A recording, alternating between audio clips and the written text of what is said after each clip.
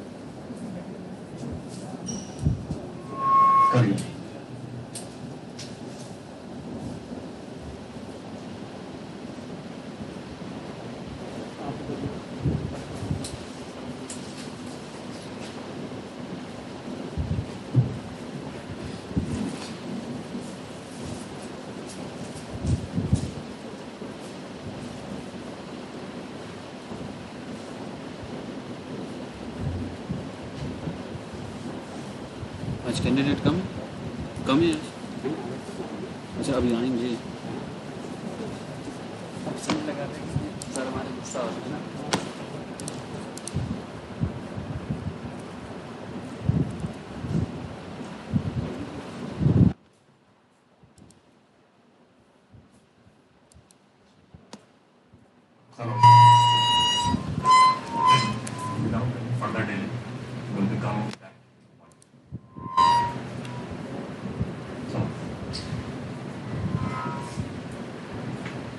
Friends, you are going to give your precious three to five years of your academic career to research. No, the, as Professor Saha was mentioning, that these years are not going to come back. And these are the vital opportunities. This time, this this time, these years are vital opportunity for you to learn many things. Because this is the last time you will learn a thing as a learner, sitting on the chair on the other side. This time you can ask anything. You won't be hesitant. You will be in learning phase. You can ask anyone without any. Because what happens that uh, when we come on other side of the chair, it becomes very difficult for some person, for some person I would like to say. However, for being a teacher, for being a guru, he is always a learner. And he must not hesitate about learning the things. I learn from Lokesh. I learn from my am from you know, PG students. Many times you find me standing before my students and they are telling me the things. They are, uh, is telling me he's sitting there, I am standing there, Because for learning, you will have to be in recipient head. And it is utmost uh, desire. I would like to break up. Uh, I would like to break this story at the end of Ramayana. Ravan was on deathbed. He was going to uh, die. Shri Ramchandra कहते हैं ये लक्ष्मण जाओ रावण जो है सर्व ज्ञाता है। ज्ञान प्राप्त अंतिम समय उनका उनसे ज्ञान प्राप्त करो लक्ष्मण जी जाते हैं ठीक है.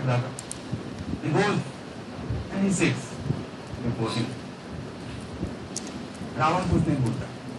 He kept वो जल्ला की कुछ देर बाद वापस आ जाएगा कहता, क्या हुआ? कह रहे कहते तो दम भी आदमी है तो कुछ बोल ही नहीं रहा है। बेटा भ्राता लक्ष्मण तुम बैठे कहाँ थे? वो इम्पोर्टेंट तुम उसके सर पे जाके बैठे सर के पास जाके बैठे अगर तुम्हें ज्ञान प्राप्त करना है तो पैरों पे जाके दैट इज़ कॉल्ड हम्बलनेस विद्या ददाते आपको हम्बल तो होना पड़े अगर आप लर्न करना चाहते so even if you are having a good saving even if having a uh, you are having a flying color you will have to be humble if you want to learn and if you want to maintain your speed and the success and this should be in your uh, blood rather it should not be plastic smile it should not be plastic humbleness sorry plastic humbleness दिख जाए humble रहिए Greaves मत कीजिए greasing और humbleness में जो demarcation line है उसको डिफाइन करके रखिए अपने सेल्फ रेस्पेक्ट से भी समझौता मत कीजिए हम्बलनेस होने का मतलब नहीं है कि दंडवत प्रणाम करके खड़े रहें बैठे रहें would like to start with the English in academic writing. Uh, we will be, I will be going through very quickly because we, I have covered little bit things uh, earlier because I have kept uh, some things for you, some exercises also. Uh, Lokesh will be giving them the exercises uh, made of the Yes. So we will be focusing the effective use of English in the learning outcome. New education policy.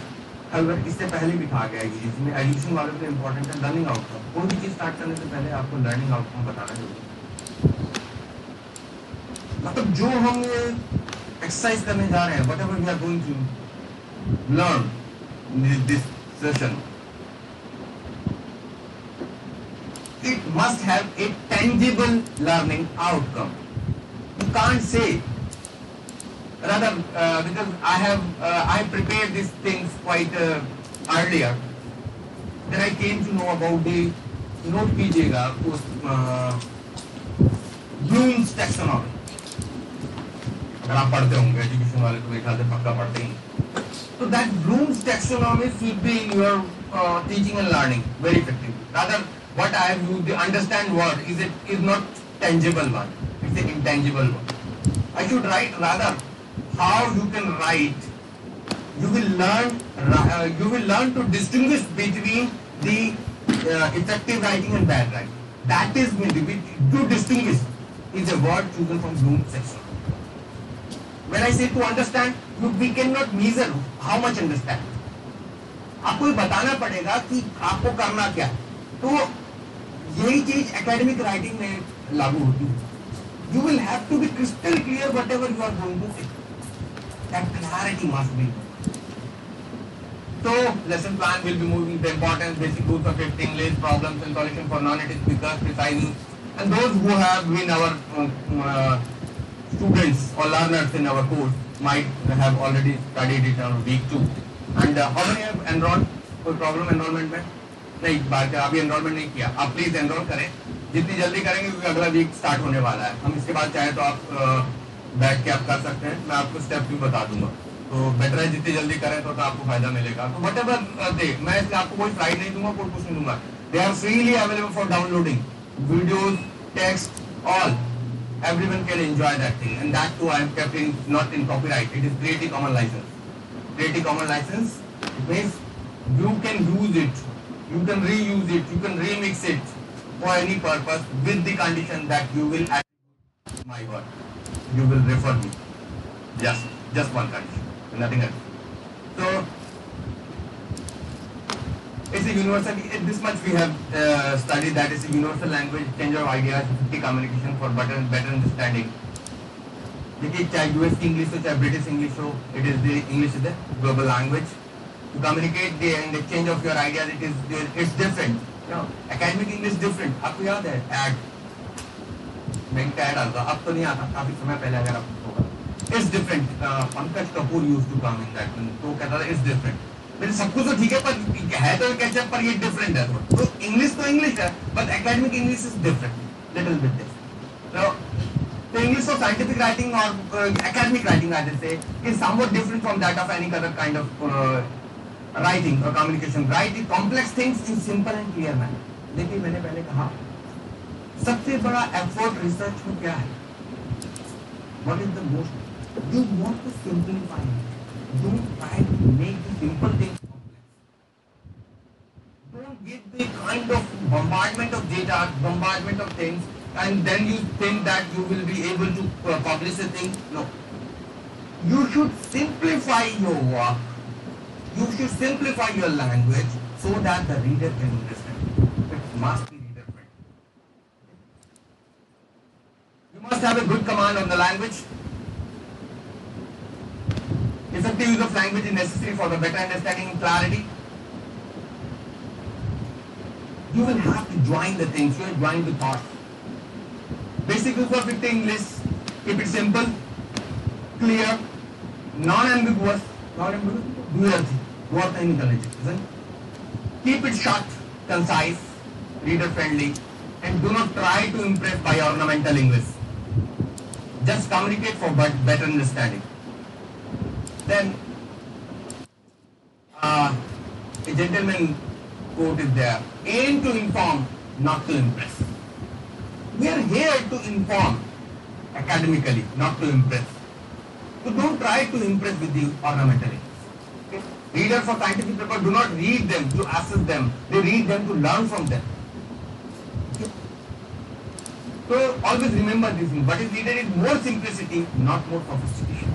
Simplicity is needed. Do not use passive voice unnecessarily the man was beaten by the dog, when can you, can easily say the dog beat the man. Do not go for passive voice. Do not use much lasting words like modus operandi, prima facie de facto and like at the ASAP, slang, other kind of slangs, abbreviations. Because academic writing is a formal kind. You can't use even and in the sense and say A, write A and D. Do not write that A. It doesn't look like even a missing comma can alter the meaning of a sentence you know रोको मत जाने दो बोलते हैं ना रोको मत जाने दो अब कॉमा कहा लगा रोको के बाद लगा कि रोको मत के बाद लगा changes the meaning not use much Latin words. Latin words के अलावा आपको जो है इनका जो वर्ड तो नहीं कहूँगा यहाँ पर a and these are the vowels जो जो जो sorry articles definite articles indefinite articles उनको अच्छे से यूज़ कीजिए ए एंड द ये अक्सर गलती होती है मैं इसलिए कह रहा हूँ कि बेसिक थिंग्स है these are the basic things in which we do commit the mistake अक्सर हो जाते हैं, हमको ये पता ही नहीं रहता कि मिस्टेक कर गए। हम कहते हैं, क्या, सब तो ठीक है? ना, ठीक नहीं। Avoid very long sentences, try to break the long sentences long sentences जैसे समाचार पत्रों में होते हैं ना, लंबा चौड़ा सेंटेंस पता है एक पैरे तक टाइम्स ऑफ़ इंडिया पढ़ते हैं हिंदू पढ़ते हैं तो पता चला एक सेंटेंस जाके जो है, पूरे पैरे के लास्ट में खत्म होता है। फुल स्टॉप बाद में लगता है। वैसे सेंटेंस नहीं बनाने। सेंटेंस ब्रीफ बनाने। Practice hearing and reading more जैसे कि मैंने पहले बताया था। The writing English is almost always a major hurdle for non-native speakers. But mother tongue की हम बात कर चुके हैं कल ही, कि मदर टंग का जो ट्रांसफ़र होता है, वो दूसरी तरह से होता है। फॉरेन लैंग्वेज का अलग तरीके से। उल्टा होता है रिवर्स दैट्स व्हाई हमारा जो परसेप्शन है, हमको टिपिकल लगता है उस चीज़ को करना। क्योंकि हम नेचर के, जो नेचर के उल्टे चल रहे हैं तो नेचर के जब उल्टे चलेंगे तो ज़ाहिर सी बात है comfort this is not going to be comfortable for us and there is no I think किसी तरह का कोई हेजिटेशन या इंफिनिटी कॉम्प्लेक्स हमारे अंदर नहीं होना चाहिए।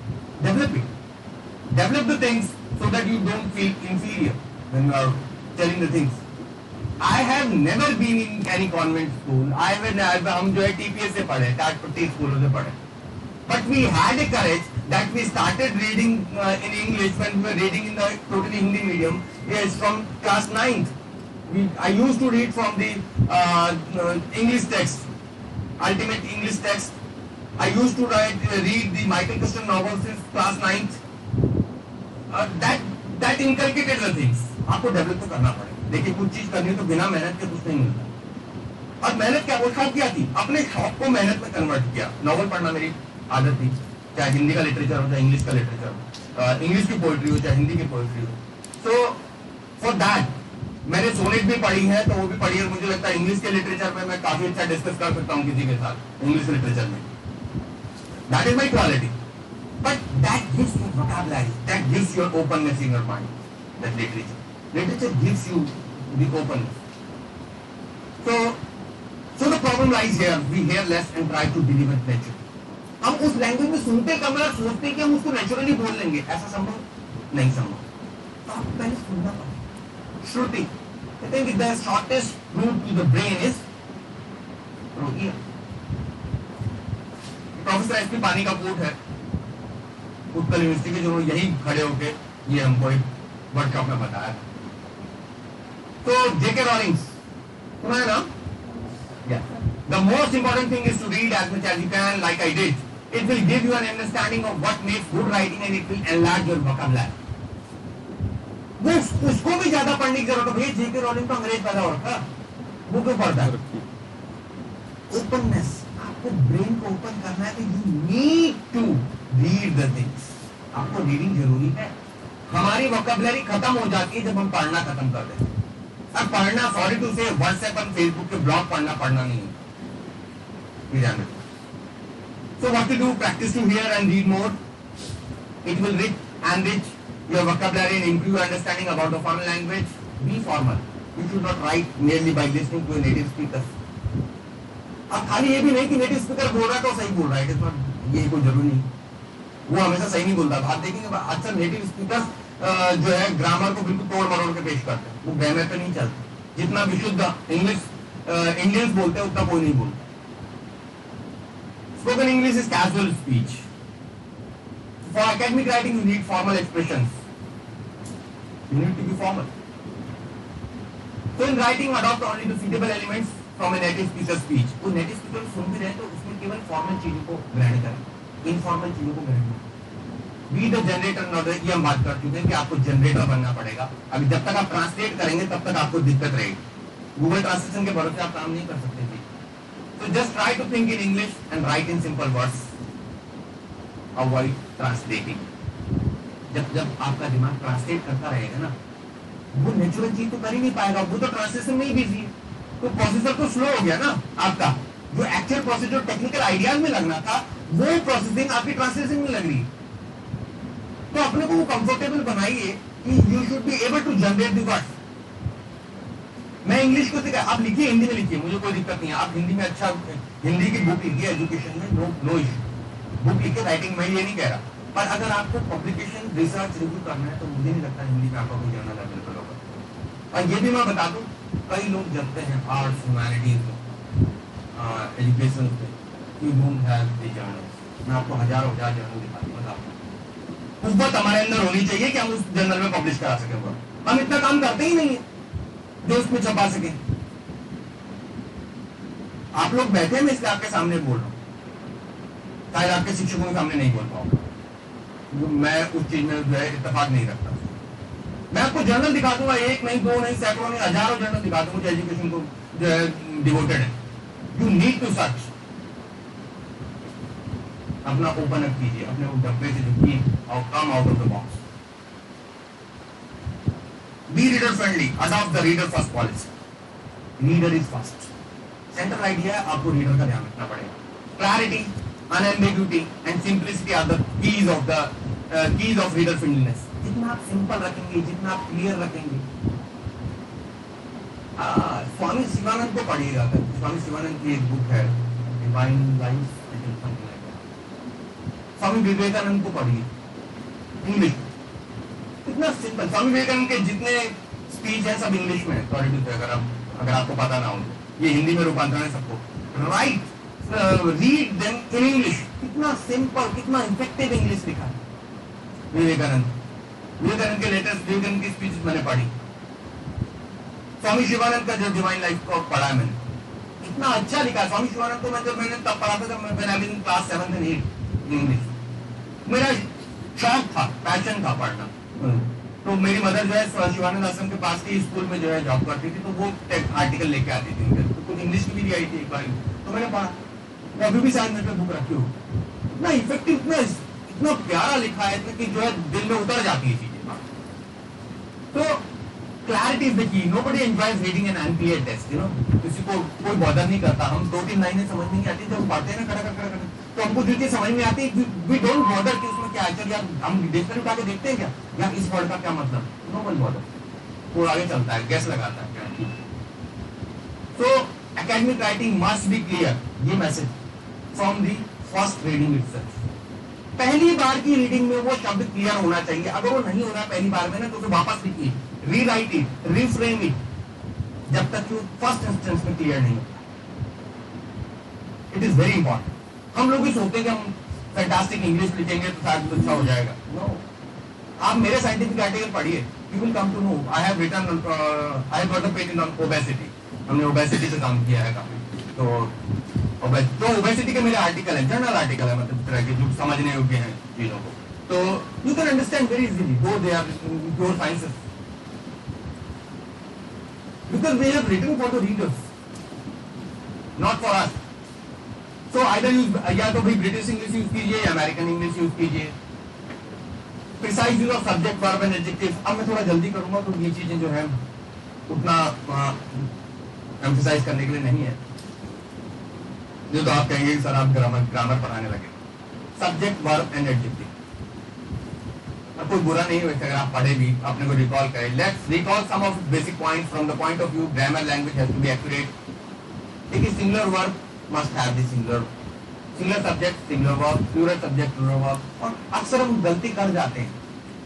आप माने या ना माने, हम गलतियाँ कर जाते हैं, इस चीज़ को ध्यान रखें। और अगर आप जेन्युइन वर्जन यूज़ कर रहे हैं स्पेल चेकर भी आपको बता देता है।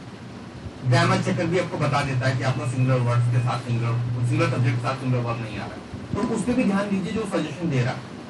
But don't rely on the spell checker spell checker contextual meaning को चेंज कर सकता मैं पाऊँगा change many time subject not required सिर्फ़ exam question was given to the question was given to the the question was given to the group of students but obvious हमने दिया है। उस सब्जेक्ट को लिखने की ज़रूरत नहीं है कि we gave the question to the group of student required sometimes subject is not required and it is very common in so don't bother about that so be comfortable whatever when the passive voice is comfortable then the active voice go for that but don't use, overuse the passive voice ठीक है the animals were sacrificed animals were sacrificed by the author and author sacrificed the animal first line is okay. Animals were sacrificed. Uh, so the results show that the article for emphasis non-living subject कई बार non-living subject from जो है भी जो है बना लेते हैं become the subject I result to that result subject नहीं है, पर रिज़ल्ट बन जाता है सब्जेक्ट अगर हम कहेंगे केवल ग्रामर पे ना जाए अप्रोप्रिएट वर्ड चुनिए आप ऑब्ज़र्व की जगह जो है observe should be in place of see determine in place of calculate possess in place of have ये चीज़ें तभी आएँगी जब आप प्रैक्टिस करें। ठीक है? मतलब जो सुटेबल वर्ड हो ना, वो आना चाहिए। मोस्ट सुटेबल वर्ड आना चाहिए। वो आपको क्वालिटी देता है चीज़ें तो सही है साहब। आप अगर मैं भी तो वही रिसर्च कर रहा था कैलिफ़ोर्निया वाले भी वो रिसर्च कर रही होता है कई बार। उसका प्रेजेंटेशन देखिए और अपना प्रेजेंटेशन देखिए बाबा। It is about the presentation the way you present the things is about the research research का जो प्रेजेंटेशन वो मैटर करता है। जब तक वो रिसर्च का प्रेजेंटेशन अच्छा नहीं होगा, वो एक लेवल पे नहीं आ पाएगा। It won't be you won't be able to take that global level avoid vague adjective very good result very excellent result क्या होता है? कुछ नहीं। Statistics you must apply the statistical significance तभी बात करेंगे स्टैटिस्टिकल सिग्निफिकेंस पे बात करेंगे। और अगर आप रिसर्च करना चाहते हैं स्टैटिस्टिक तो पॉसिबल नहीं होगा कि मैं आपको बताऊँ, समझाऊं। हमारा कोई भी पेपर बिना स्टैट्स के नहीं छपता है, किसी का भी नहीं छपता। Statistical software you must be aware of next target आप रखिए कोई भी स्टैटिस्टिक्स की वर्कशॉप होती है बल्कि मैं सर से कहूँगा, कभी वो तो करवाएँ। रिसर्च स्कॉलर के लिए कि whatever the statistics is required to be learn you must go to learn ये सारी चीज़ें जो रिज़ल्ट हैं whatever work you do is is incomplete totally without it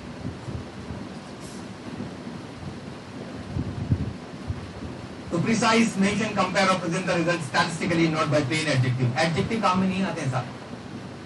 नहीं तो हम रिसर्च क्यों कर रहे हैं? पत्रकार और तुम में क्या फ़र्क है भाई? पत्रकार तो पत्रकार भी आजकल स्टैटिस्टिक्स का सहारा लेते हैं भाई। तो रिसर्च वाले को तो लेना है ना। उसका तो काम ही वही है।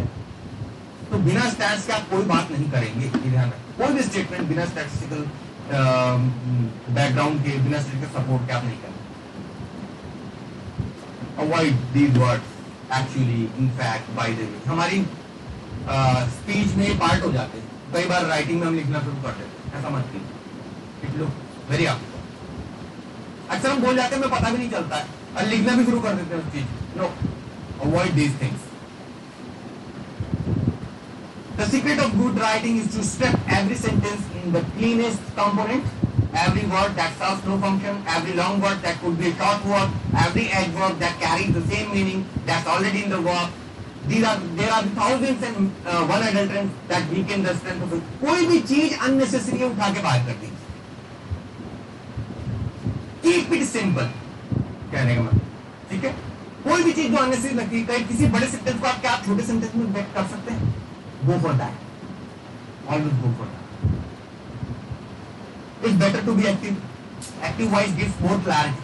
ज़्यादातर unnecessary overuse नहीं करना है आपको passive voice active voice passive मैं नहीं जा रहा हूँ चीज़ों पे, छोड़िए make passive if you want to be sometimes to be polite in tone use the passive voice grammar का एक अलग सा एजुकेट का हुआ है कि passive voice is very polite all the rest were sacrifice और द फॉर्मेशन भी poor result were drop out of for the entire studies कहने का मतलब है कि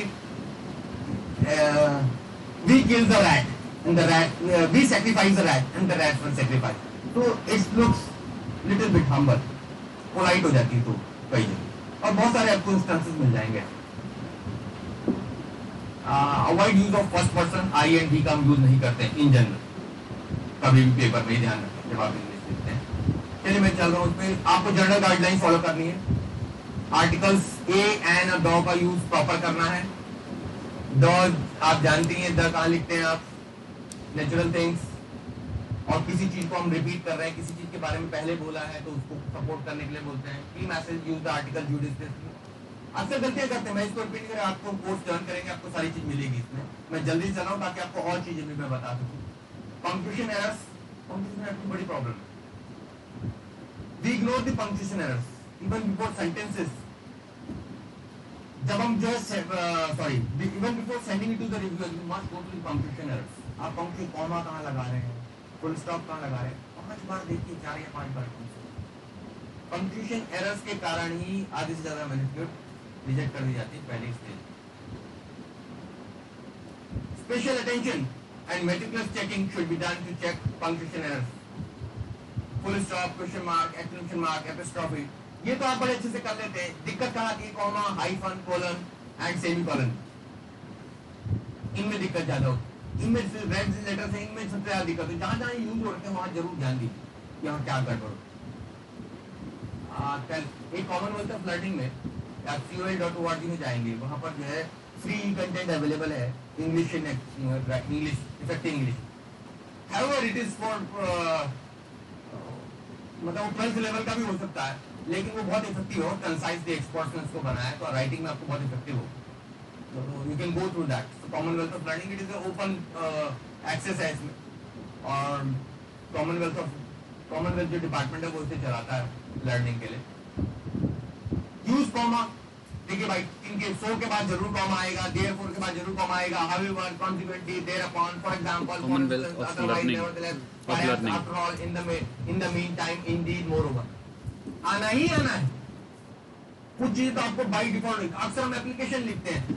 Therefore I humbly request therefore के बाद 99% लोग कॉमा नहीं लगाते। लगना है। ये चीज़ें आपको बड़ी होता क्या है कि जब हम एक आध एरर तो चल जाती है लेकिन जब जब हमारी मैनुस्क्रिप्ट पूरी इसी तरह के एरर से भरी होती है ना तो जो नेट जो रिव्यूअर गेट्स कंफ्यूज रिव्यूअर को लगता है कि यार इसका नॉलेज बहुत पुअर है। वो कहता है आप इंग्लिश चेक पे जाओ ग्रामर चेक पे चले वो बाद में टेक्निकली तो देखता ही नहीं है। टेक्निकली तो बाद में देखेगा।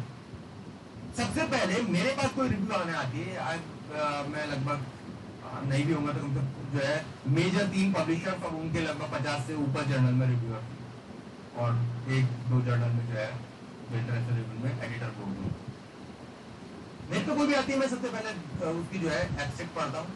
उसमें उसकी जर्नल इंग्लिश देखता हूँ कि इंग्लिश सही है भी कि नहीं। अब कोई ज़रूर नहीं कि यूरोप वाले ने लिख रखा तो उसकी इंग्लिश अच्छी होगी, ऐसा नहीं है। फिर इसके रेफरेंस देखता हूँ। Then we go with idea idea और टेक्स्ट में बाद में जाते पहले ग्रॉसली चेक करते तो सबसे पहली चीज़ ये है इंग्लिश पंक्चुएशन ये बात ध्यान में रखिए आप कहेंगे ये क्या बड़ी बात है? साहब ये तो पहला फ़ेज़ है ना। कक्षा दस तो आपने पास करी नहीं बीएड का सर्टिफिकेट कहाँ से लगाओगे? समझ रहे मेरी बात? तो जो पहला स्टेज है, वो साउंड होना चाहिए आप ये हमेशा ध्यान रखें। हिंदी में किसी भी लैंग्वेज में फॉलो कर। आपकी हिंदी अच्छी नहीं है, कितना भी पढ़ा लिख लीजिए आप, नहीं मिलेगा आपको। आप पब्लिश नहीं करा पाएँगे। क्या check the brackets for completeness bracket पता चला शुरू का तो लग गया लास्ट वाला पता ही नहीं, लगा ही नहीं, बोले लगाना होता है mistakes common mistake never place any punctuation in front of parenthesis bracket close हो रहा है, उससे पहले फुल स्टॉप नहीं आता। ब्रैकेट क्लोज होता है, उससे पहले फुल स्टॉप नहीं, किसी भी तरह का पंक्चुएशन नहीं आता। The results were in the agreement to the previous study comma 10 इस तरह से? देखिए उससे पहले इमीडिएटली जो है कोड द वर्ड्स और sentences you have copied the effect of Do not rely on the spell checker for use of hyphen in scientific writing. Technically, it should be convincing. ठीक है? हाइफन जो है उसका use proper करना है आपको। कई बार क्या होता है? आ, आपका स्पेल चेकर आपको बताता है कि इसके बीच में हाइफन लगे। जबकि ज़रूरी नहीं है।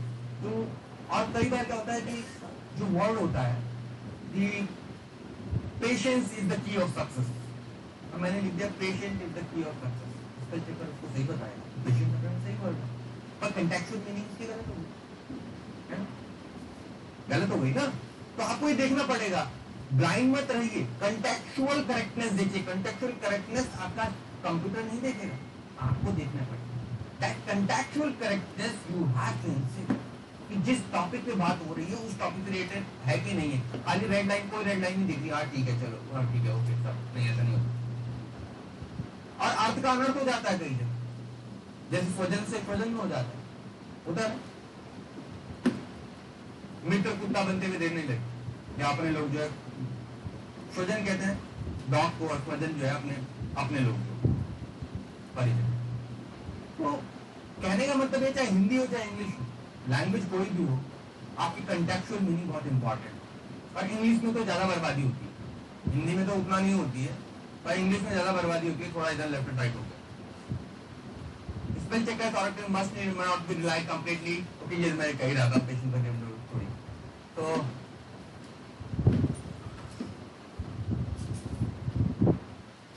खैर मीन अब मैं एक चीज़ दूसरे कंटेक्स्ट पे आऊँगा एक बार।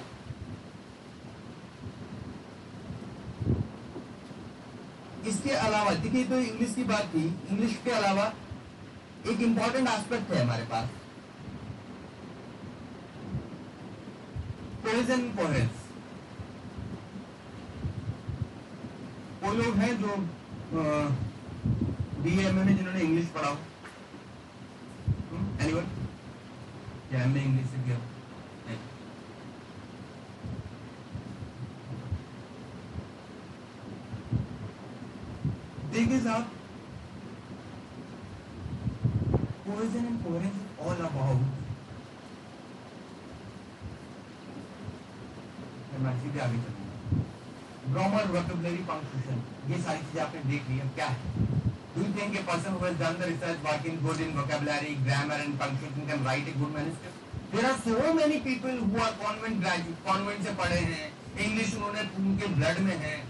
सब लेकिन they even though they can't write a, even a single page, efficient.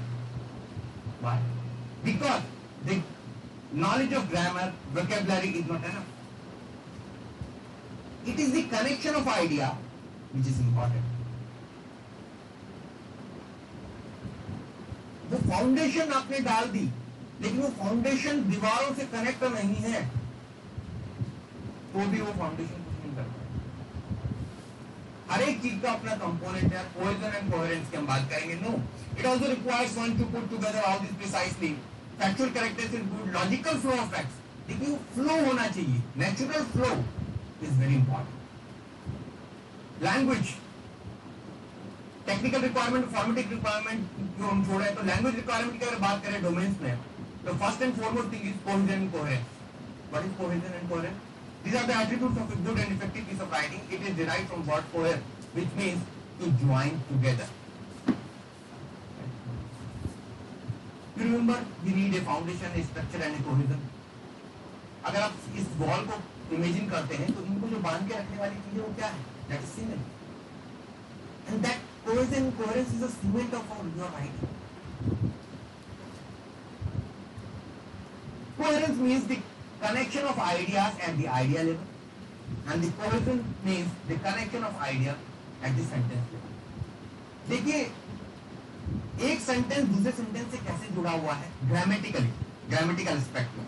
वो उसे हम बोलते हैं कोहेजन और आइडिया के लेवल पे आप मेरा जो एक पैरे की जो लास्ट लाइन है, वो दूसरे पैरे की फ़र्स्ट लाइन से कनेक्टेड है कि नहीं है? या उसके बारे में हिंट दे रही है कि नहीं दे रही है?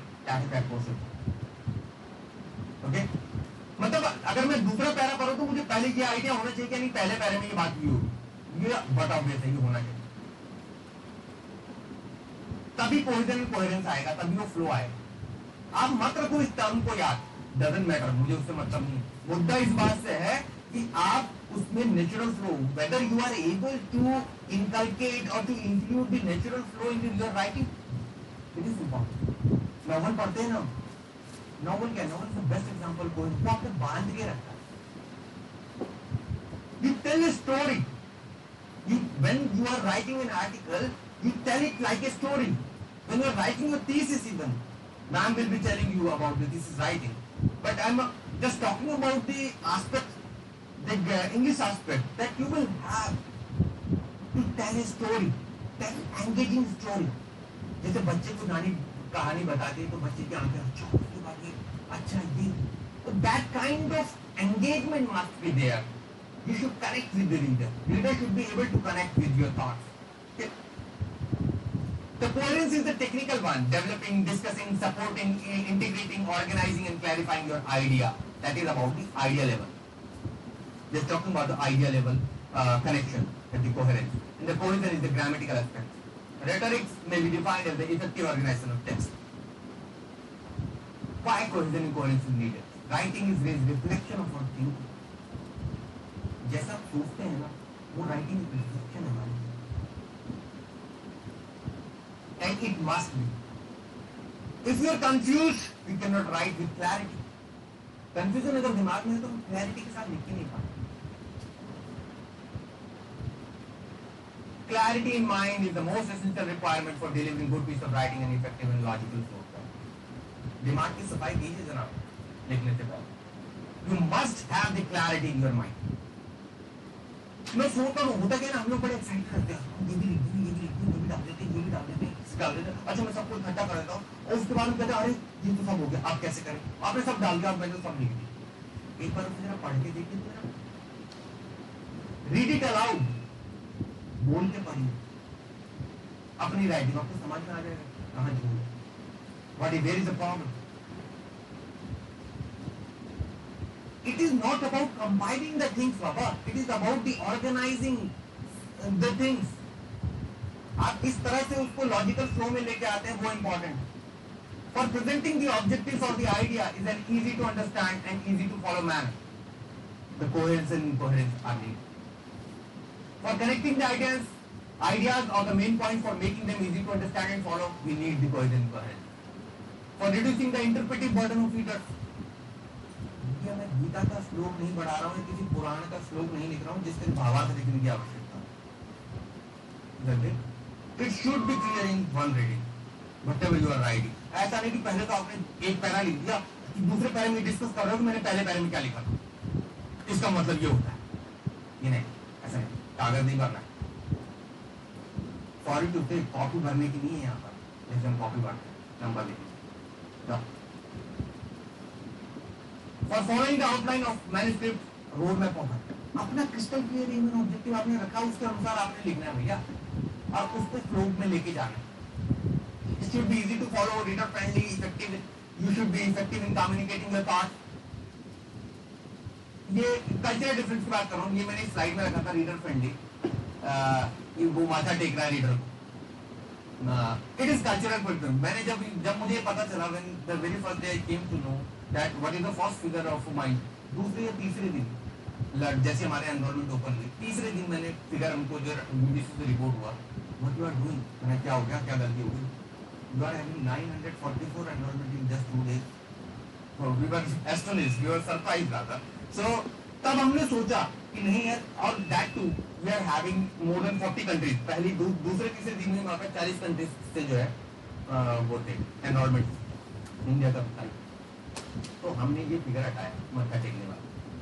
वहाँ नहीं समझते बाहर का बंदा नहीं समझेगा मैं बता रहा हूँ चीज़ में समझाने के लिए चीज़ें होती है। ये जो स्लाइड है ये हुई है वहाँ पर। तो about coherence in writing, we talk about the uh, how the piece of writing moves with the idea. Achieving cohesion coherence क्या? विद इन सेंटेंस आपको सेंटेंस के बीच में भी एक कोहेजन को लाना पड़ेगा फ्लो को लाना पड़ेगा। एक सेंटेंस से दूसरे सेंटेंस के बीच में और एक पैरे से दूसरे पैरे के बीच ठीक है you begin with theme and the main point and follow the main point आप एक चीज़ से शुरू करते हो फिर दूसरी चीज़ के बारे में बताते हो फिर जो दूसरी चीज़ है वो अगले में मेन थीम हो जाती है फिर उसके बाद इस तरह से आप चलते रहते हैं So it is about linking the sentences. A, a single sentence should lead to the new idea which may be developed in the following sentences. कुल मिला के ये कि आपको वो जो है कनेक्शन टू कनेक्शन लेके जाना एब्रप्ट जंप नहीं करना है एक टॉपिक से दूसरे topic it should be slow transition from one topic to another topic कोई भी चीज़। लाइक चलिए मैं इस पर जा नहीं रहा हूँ कि distinct theme and review pattern आपको भी बताना पड़ेगा कि मेन थीम क्या है, वो क्या है स्क्रिपिंग में tools of policy writing policy writing के लिए कंजप्शंस होते हैं, ठीक है? मैम कमिंग टेक्निकल वर्ड्स हैं lexis for lexical cohesion reference and paragraph डम these are the four techniques ठीक है? जनरली आप करते हैं, मैं केवल नाम बता रहा हूँ, आप कहेंगे हम ये करते हैं साहब मैं जैसे आपको चीज़ बता रहा हूँ, हो सकता है कोई चीज़ मिस करती हूँ आपको। ये जो कंजेक्शन है कंजेक्शन में the join together two clauses to caught आप जो है, ये हम पढ़ते हैं। Wit is remember that send voice acronym है F for for A for and N for not but और ये चीज़ यूज़ करते कंजेक्शन पेन वॉइस अक्सर, कोशिश कीजिए बड़े सेंटेंस बनाने के बजाय जो बड़े सेंटेंस है, उनको अगर वो जब बन भी रहे बड़े तो उनको बीच में कंजक्शन लगाइए ताकि कनेक्शन हो उनके। बीच देखिए, मैंने एक एग्जांपल दिया है इन लॉन्ग सेंटेंस है, उसको मैंने तोड़ा है, एक सेंटेंस को इन स्पाइट ऑफ़ देखिए, एक सिंगल सेंटेंस है। In spite of questionable effectiveness and one और more side effects here growth products available in the form of many synthetic and alternative medicines contribute to the million dollar market globally. it is a single sentence what we did here growth products available in the form of many synthetic and alternative medicines have a million dollar market globally but the effectiveness of these medicines are- is questionable Besides questionable effectiveness, the synthetic drugs have one or more side effects also. एक ही sentence को मैंने तीन sentence में तोड़ा clarity के साथ with the by using the things by using the conjunctions तो don't try to write long sentences conjunctions use कीजिए लॉन्ग सेंटेंस को स्मॉलर सेंटेंसेस में तोड़िए। Do not allow the reader to lose his और our attention do not over use conjunction और बहुत ज़्यादा conjunction भी use मत कर। पता चला एक ही सेंटेंस में आपके जो चार आपने, चार बार आपने एंड लिख दिया। ठीक है? ग्रामेटिक खैर, इन चीज़ों मैं डिटेल में जाऊँगा ग्रामेटिकल कोहेजन जो है कंजक्शन रेफरेंस सब्स्टिट्यूशन एलिप्सिस होता है। थोड़ी चीज़ को। लेक्सिकल कोहेजन होता है। कोई चीज़ जो होती है ना, आपके पास आपके लेक्सिकल कोहेजन में वर्ड्स दैट गो टुगेदर जो रिलेटेड है आपके। Repetition synonymic collocation similar words repetition में इसमें ज़्यादा डिटेल में नहीं जाऊँगा।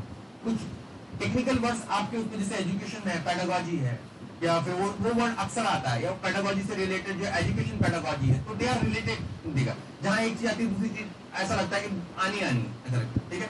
तो तो वो जो लेक्सिकल कोहेजन है, वो बट ऑब्वियस है, वो आपको मेंटेन करना चाहिए। एक्सपेक्टेंसी रिलेशनशिप है, जो आप कर रहे हैं वो एक्सपेक्टेड है कि नहीं। लाइक फैक्टर्स अफेक्टिंग और फैक्टर्स के बाद अक्सर आपको लगता है कि गवर्निंग आ रहा है अफेक्टिंग आ रहा है। डिज़ीज़ के साथ ट्रीटमेंट मेडिसिन के साथ patient these are the Depending on your field of research, you can see the how you can adapt a smooth and natural lexical content. Language tool references है। यहाँ references की हम बात ये नहीं कर रहे। A down and keep tracking of the same language tool के तहत रेफरेंसेस की अगर मैं बात करूँगा the use of pronouns allow us not repeating a noun again and again आपको प्रोनाउन यूज़ करना है नाउन के साथ reference creates cohesion by using different types of pronouns possessive pronouns you are there she me those these and for actually इसको मैं छोड़ रहा हूँ थोड़ी ellipsis हाँ ellipsis जैसे he goes to yoga classes in the afternoon I hope I can too मैंने उसको रिपीट नहीं किया कि मैं भी जाता हूँ भाई, मैं भी योगा क्लास जाता हूँ। I hope I can to that is called ellipsis. ठीक है? The blood pressure came down within one hour for group one group four follow the trend मतलब ग्रुप फोर के साथ भी ऐसा ही हुआ। समझ के बात? तो these are the techniques cohesion conjunction फ्लैक्सिस reference and coherence की बात करेंगे। कोहेरेंस जो है डायरेक्ट सेंटेंसेस लेवल पे grammatical cohesion this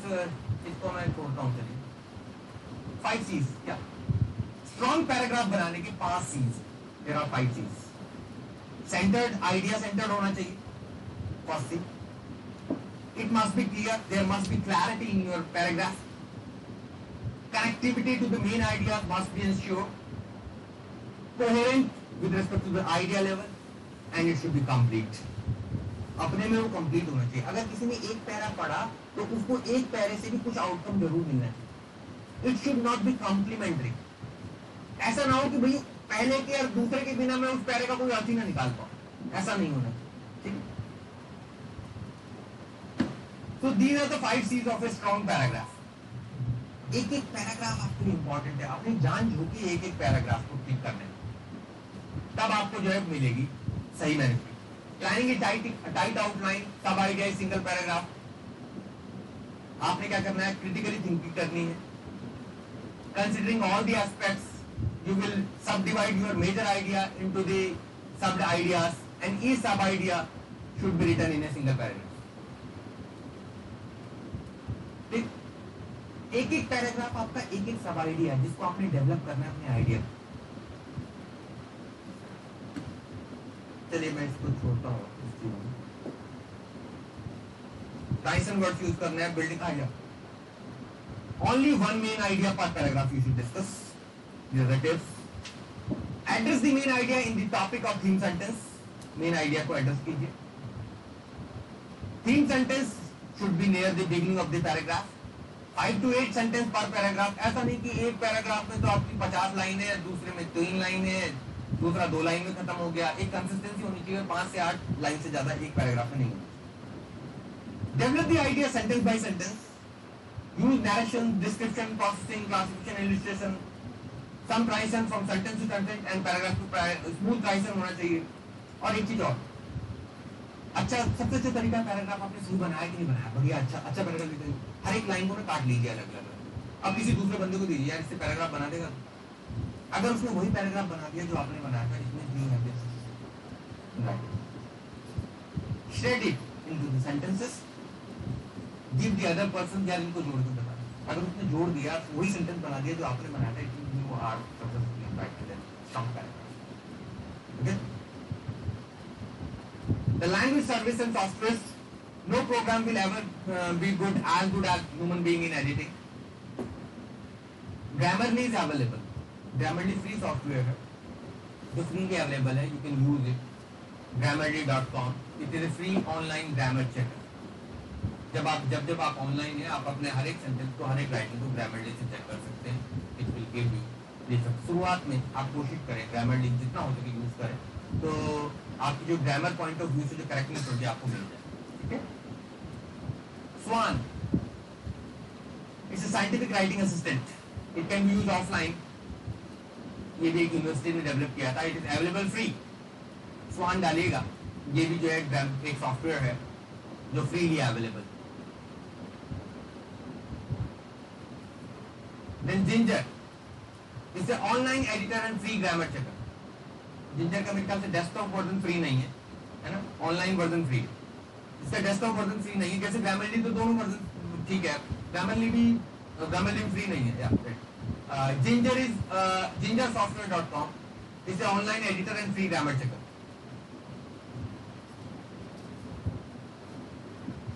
Hemingway editor 3 it's an online grammar editor it's a, it is from community think all it's a online free and desktop version is paid desktop version अगर आपको चाहिए तो आप इसको pay करना पड़ेगा otherwise online आपको free use कर सकते हैं Hemingway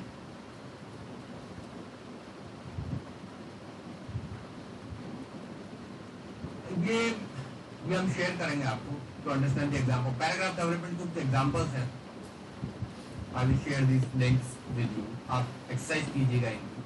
Now what we are going to give you. इसके बाद हम सीधे आएँगे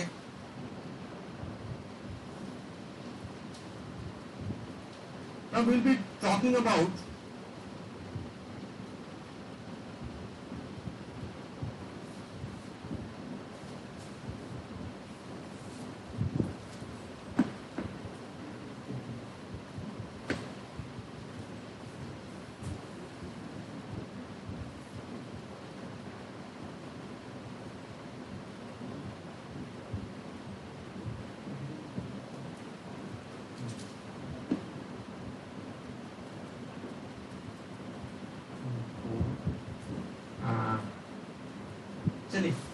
फ़िलहाल मैं भी भी इसको फ़िलहाल कुछ रोकता हूँ।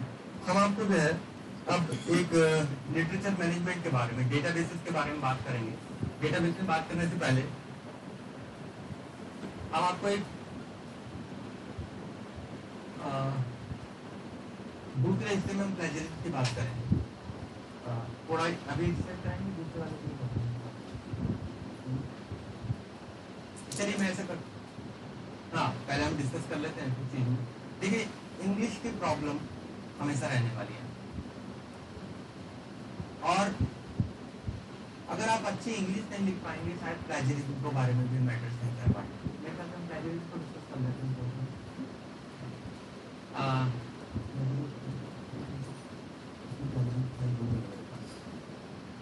Just go to the avoidance plagiarism. बस, मैं आपसे डिस्कस करता हूँ। देखिए प्लेजरिज्म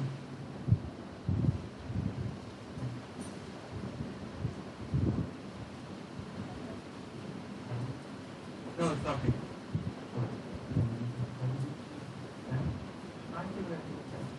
देखिए प्लेजरिज्म एम गोइंग आपको सबसे ज़्यादा क्वेरीज हमारी जो है प्लेजरिज्म पे रहती हाँ, तो प्लेजरिज्म मींस हाँ क्या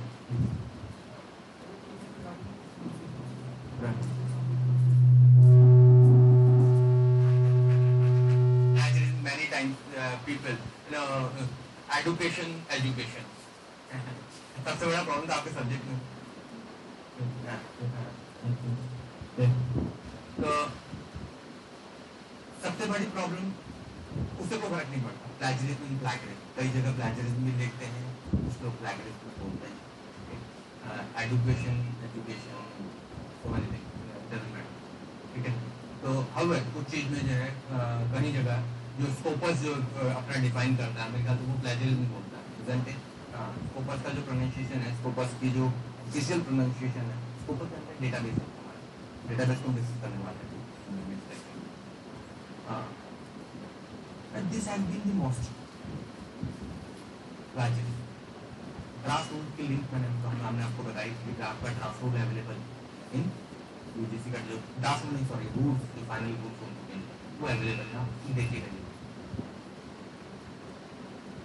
Hmm.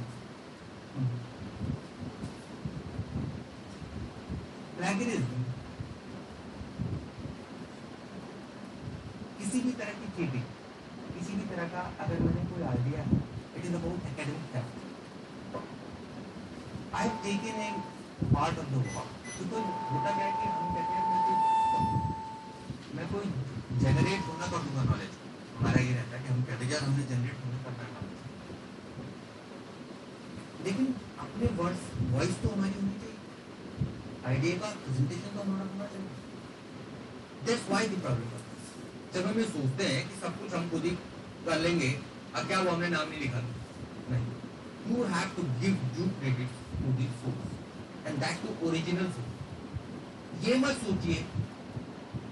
देखिए में बहुत कुछ है जो बताया जा सकता है। मैं आपको केवल मोटी मोटी बातें बताऊँगा जो आपकी मतलब उस समय। When you are writing thesis plagiarism are of so many types. Plagiarism may be intentional unintentional. चाहे वो इंटेंशनल हो, चाहे अनइंटेंशनल हो, सजा एक ही। इसलिए आपको जाना मर्डर इंटेंशनल हो अनइंटेंशनल हो सजा कम ज़्यादा हो सकती है पर सजा but I mean to say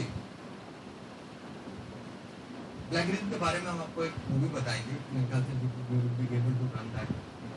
होगा हमारे पास वो फ़ाइल होगी हमारे पास ओबीएस की रिकॉर्डेड उस फ़ोन की हाँ उसमें है ना ना उस फोल्डर में उस फोल्डर में मैंने फोल्डर पूरा कॉपी हाँ खैर मैं बताऊँगा आपको वो उन उनके बारे में भी बताएँगे हम आपको जो आपको जानना चाहिए देखिए theft it may be self plagiarism मैंने अपनी आर्टिकल से अपनी थीसिस के लिए पूरा ले लिया। प्रोवाइड आपकी थीसिस का पार्ट है तो कोई बात नहीं। लेकिन थीसिस के बाद जब चीज़ें आते हैं तो अपने किसी पुराने आर्टिकल को किसी दूसरे आर्टिकल के लिए यूज़ नहीं कर सकते पूरा डिटेल पार्ट पंद्रह आधा तो मैंने वही से निकाल लिया। फिगर भी मैंने वही से निकाल लिया। नहीं ऐसा नहीं ठीक है? आपको पब्लिशर से परमिशन लेंगे कॉपीराइट आपके पास है You have to respect the copyright. And you know, many vice chancellors have lost their chair. Many people, their stories. Madam ने प्लेगरिज्म जो है कवर किया है हमारे तो they are the several case studies you will come to know research scholars को अपनी thesis के अपने रजिस्ट्रेशन से ही हाथ धोना पड़ रहा scientist hang himself stem cell research का एक किस्सा है जापान में हुआ था। उसने स्टेम सेल का एक फ़ोटो डेवलप किया ये बताया नेचर में किया कि हमने किया जबकि किसी और रिसर्च चल रहा था नेचर में छपना बहुत बड़ी बात है नेचर में छपने को मुश्किल है मिलता है। जापान इस मामले में अक्षम अपराध है जापान में क्या काम करता है। जब- जब ये चीज़ नोटिस में आई तो उनको पकड़ा, उनको एक्सप्लेनेशन कहा गया। उन्होंने उस टीम ने पब्लिकली माफ़ी मांगी पूरे देश। उसके बाद जो मेन जो वो- उनके जो टीम मेंबर आए वो इतना फ्रस्ट्रेट हो गया इतना डिप्रेशन में आ गया कि ही हैड हिमसेल्फ और उसने अपनी कलीग को कहा कि तुम इस रिसर्च को जारी रखना कि आगे सही करना। डेट्रीमेंटल इफ़ेक्ट आता है। छोटी छोटी बातें आदमी को इज़्ज़त कमाने में सालों लग जाते हैं। कमाने में कोई एक्सप्लेनेशन नहीं होगा। हाँ, उसके बाद गलती एक जगह हुई होगी क्योंकि बाकी सर्विस ने ऐसे कर रखा ऐसे ही होता सब कुछ जाता किया करा है। तो ये प्लेगरिज्म बहुत इंपॉर्टेंट है, आपको जानना। ये मैंने ये भी कहा है, आपको अच्छी तरह से जानना ताकि आप आने वाले, जब आप टीचर बनेंगे तो आप अपने स्टूडेंट्स को, इसको अच्छे से बताना है, क्योंकि आज की डेट में क्योंकि वेरी ट्रू आपके टीचर भी नहीं जानते प्लेगरिज्म है क्या करना है प्रॉब्लम क्या है इसलिए आपकी ज़िम्मेदारी ज़्यादा है। आपको खुद भी समझना है और उनको भी समझाना सो जो प्लेगरिज्म है, मैंने कहीं से लिया कुछ चीज़, उसको कोट नहीं किया, उसको रेफरेंस नहीं किया। वहाँ प्रॉब्लम मैंने छोटे छोटे टुकड़ों में लिया पैच राइटिंग जिसे कहते हैं, वो भी एक तरह का प्लेगरिज्म मोजेक प्लेगरिज्म थोड़ा थोड़ा थोड़ा निकाला, और कि हाँ कर रेफरेंसेस उठाए क्रॉस से एक रिव्यू से सीधे सीधे उठाए, और उसके बाद जाए थोड़ा थोड़ा लिखा रेफरेंसेस वहीं के वहीं लगे हुए हैं। वो फिंगर प्रिंटिंग आपको पकड़ जो सॉफ्टवेयर से अब कितना भी कोई स्किप करने की कोशिश करे ना कोई पकड़ने पे आ गया तो पकड़ ले आप हो सकता है किसी टैक्स से बच जाए लेकिन कोई अगर आपके ऊपर पीछे पड़ गया अगर आपने गलत किया है तो यकीन माने आप बच नहीं पाए। So, problem occurs when जब आपको ये है कि भैया तो हम बचे कैसे प्लेगरिज्म मुद्दे की बात का प्लेगरिज्म कई तरीके का है अगर आपने जो है एक लाइन वहाँ से, एक लाइन दो लाइन देखिए, तीन लाइन तक आप लेते हैं एक जगह पर thirty nine words thirty nine words तक का आप कोट ले सकते हैं, कोई दिक्कत नहीं एज सच ये रूल उससे ऊपर उससे ऊपर आप कोट लगा के काम नहीं कर सकते। आप ऐसा नहीं हुआ कि एक पैरा पूरा कोट लगा के आपने कह दिया ये तो मैंने वहाँ से करियर कह दिया कि मैंने वहाँ से किया। ऐसा नहीं ऐसा संभव उसको आपको सोर्स देना है अपने वर्ड्स में लिखना है इन थर्टी नाइन वर्ड्स तक बिना चेंज किए you can hit produce the thing अगर आप मेजर चीज़ कहीं से दे रहे हैं तो थर्टी नाइन से इतना you will have to modify reframe rewrite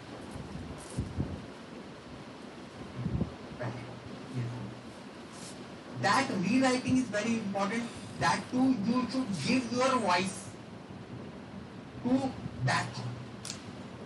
वो थॉट जो दूसरे का है, उसको अपनी वॉइस में, अपने हिसाब से उसको व्यक्त करना है और उसको रिफर करना है कि हाँ अकॉर्डिंग टू हिम या सिंपल सा refer that is called direct quoting. उसके अलावा कोर्ट में डायरेक्ट कोर्ट तो आप कोर्ट बिना कोर्ट लगाए भी कर सकते हैं।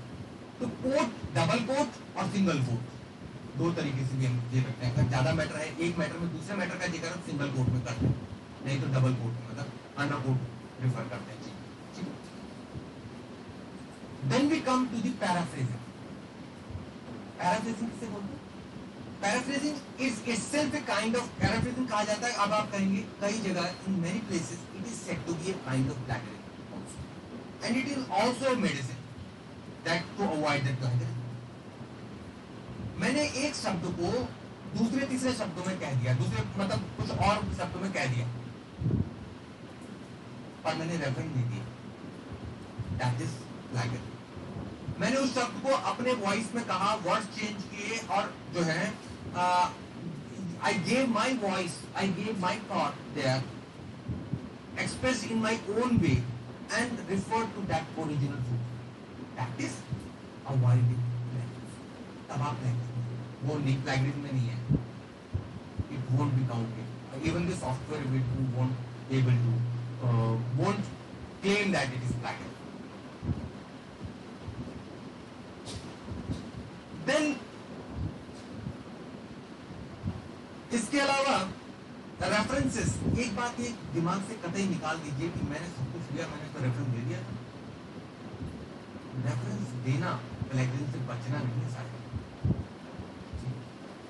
आपको अपने शब्दों में उस चीज़ों को लेना पड़ेगा, अपने व्यक्त तो करना ही करना पड़ेगा। ये भूल जाइए कि खाली रेफरेंस देने से मैंने तो रेफरेंस दे दिया था, मैंने वहाँ से लिया, मैंने यहाँ से फिगर लिया और ये लगा दिया reference fair fair uses, copyright category and fair uses fair uses means if i'm using this, real sir was using, it is a fair use वो copyright material है। सर ने कहा कि ये मैंने इस बुक से लिया है अडेप्ट किया। क्योंकि वो पढ़ने पढ़ाने के लिए कर रहे हैं तो फेयर यूज़ की कैटेगरी में आता है। He is not taking any commercial advantage of that तब तक सही है। लेकिन आपने कहा कि मैंने अपनी बुक में मैंने कहाँ से लिया अडेप्टेड फ्रॉम दिस बुक और अपनी जो मेरी अपनी बुक है जो मैं बेच रहा हूँ जो मेरी पब्लिश हो रही है उसमें मैंने उसको पब्लिश कर दिया नीचे adapted from this if you have not taken the copyright permission, if you haven't taken the permission from the publisher, it is plagiarism. क्योंकि आपका मकसद now you are aiming to gain the profit out of that even if even I technically i have got the i think uh, what told 9000 more than 9500 learners i cannot electro electronically transfer my own article वो article का publisher के पास right है मेरे पास नहीं copyright मैंने उसको दे रखा तो मैं इलेक्ट्रॉनिकली 9500 पीपल को अपनी जो है मेल से नहीं दे सकता हूँ। It will be it won't be copy it won't be safe use भले वहाँ भी मैं कमर्शियल एक्सरसाइज नहीं कर रहा हूँ। लेकिन जब मास में करते हैं मास में नहीं बांट सकते। रिसर्च गेट में लोग अपने पेपर डाल देते हैं। Do you know ResearchGate had got the notice from major publishers to remove those copyright material आप अपना पेपर रिसर्च गेट में डाल देंगे, इसका मतलब क्यों ना तो आपने पब्लिक कर दिया, उसकी कॉपीराइट की तो आपने ऐसी तैसी कर दी। कि नहीं? तो आप ऐसा फेयर यूज़ का मतलब लिमिटेड यूज़ है। Limited fair use So you can use it for teaching and learning, no issue. Anything you can use. But when it comes, अब आप कहोगे सब में तो मैं क्या है फेयर कोई दिक्कत होना कि मैं तो थीसिस में यूज़ कर रही हूँ मैं कोई कमर्शियल थोड़ा यूज़ करूँ but you are going to take the academic advantage आप डिग्री के लिए यूज़ कर रहे हैं आपको परमिशन लेनी पड़ेगी भाई आप ये क्लेम कर रहे हो कि मैंने वो कर रहा था आपको लेना पड़ेगा even for taker you know Kumar University vice chancellor B S Rajput उनके पास, उनको अपनी कुर्सी से हाथ धोना पड़ा क्योंकि उनकी, उनके रिसर्च स्कॉलर थीसिस में दो टेबल कहीं से कॉपी किया था वो भी लिटरेचर रिव्यू में केवल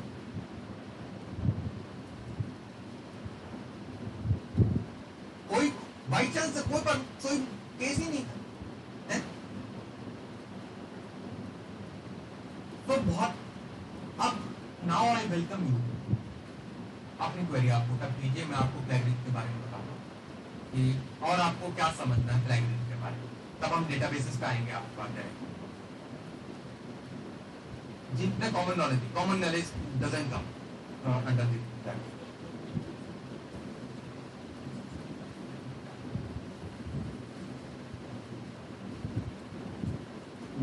meant to say, uh, uh, law.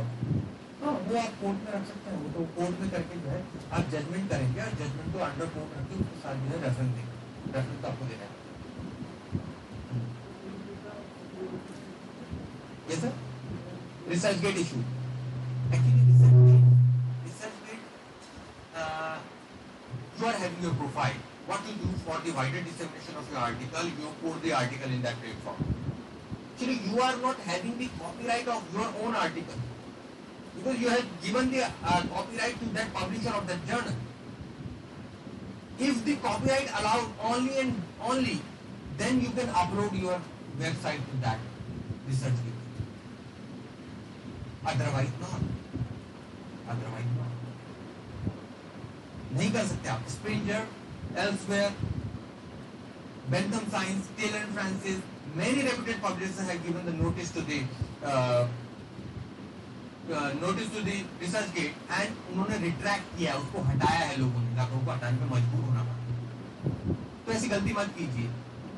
आप उसके लिए तरीका ये अगर आप वाकई चाहते हैं उसमें तरीका ये होता है कि आपकी प्री फाइनल वर्जन मतलब उस फॉर्मेट में नहीं, जिस फॉर्मेट में छपा, जिस फॉर्मेट में वो एक्सेप्ट हुआ पेपर वर्ड की फ़ाइल में ही वो आप अपलोड कर सकते हैं with the link of the original publish article कि भाई ये ओरिजिनल पब्लिश ये मेरा आर्टिकल है जो यहाँ पब्लिश हुआ है और ये इसका फाइनल वर्जन है that you can you can upload your pre-final version before formatting of into that journal and with the link on the top of that particular article ये आप कर सकते हैं कुछ in some cases it is allowed that after one year you can freely upload but you must see the copyright agreement which you have signed which you have given and you, you must uh, refer to the uh, what you can say the copyright act or journals guide anything else बोले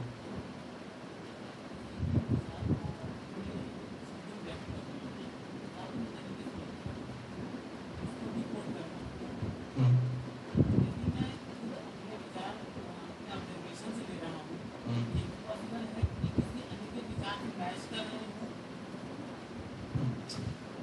it is it is highly unlikely that two people have the same idea at the same time someone earlier one. हो सकता है ऐसा तो ज़रूर होगा, किसी के दिमाग में पहले आया होगा। तो ही उसने पहले उसको पब्लिश किया है चीज़ तो वो कॉपीराइट हो जाता है एक तरह से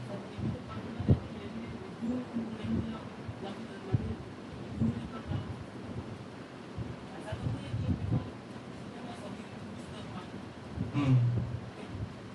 नहीं नहीं आप ये कह रहे हैं कि आपकी भी वही सोचे जो उसने सोचा था तो डजेंट मैटर मत लो क्या दिक्कत क्या है? आप अपनी बात बोल रहे हो? ठीक अपनी बात बोल रहे हो? देखिए अपनी बात अगर आप बोलोगे तो ऐसा तो नहीं होगा कि वर्ड भी उन्हीं के यूज़ कर रहे होंगे। आप अपनी बात बोल लीजिए कोई दिक्कत नहीं है। जब तक कि आप पकड़े नहीं जाते कि तो एज सच आप उन्हीं वर्ड्स का यूज़ करेंगे। Two people can have the same idea, but it is highly unlikely that they use the same kind of word or set of words and set of sentence to express their meaning. समझ गए आप मेरी बात? देखिए thought हो सकता है thought हो सकता है। अपने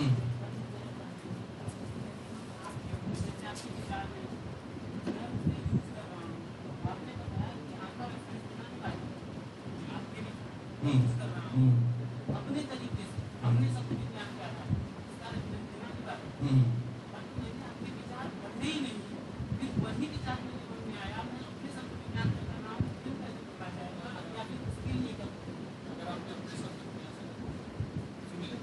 देखिए मैं बताऊँ एक मिनट सुनिए इसके एक मिनट ये आपकी सुन सबसे पहले when you are doing the research सबसे पहली बात सॉलिड लिटरेचर रिव्यू होना चाहिए। ये आपकी कमी है। इसका मतलब आप ये शो कर रहे हैं कि I am the first person who has got the idea जो पहली बार बोल रहा है, इसका मतलब कमी कहाँ है? हमारे रिसर्च में कि हमने उसको कोट नहीं किया।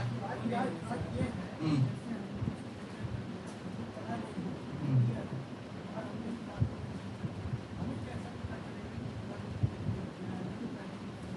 आपका सॉफ्टवेयर बता देगा। आपका सॉफ्टवेयर ये बताए शब्द विन्यास बता देगा हम्म हम्म हम्म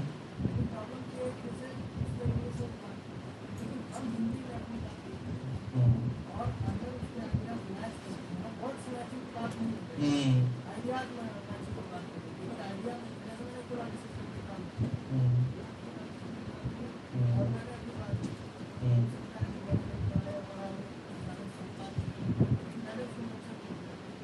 ऐसा होता है ना देखिए सब आइडिया में भी सिमिलर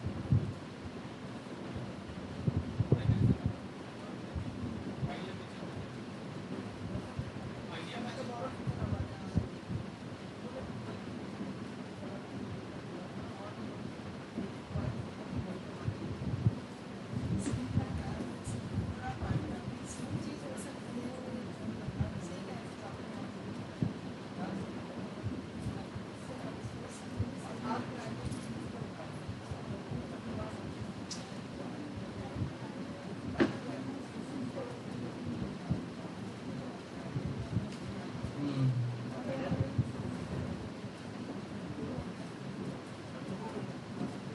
हम्म हम्म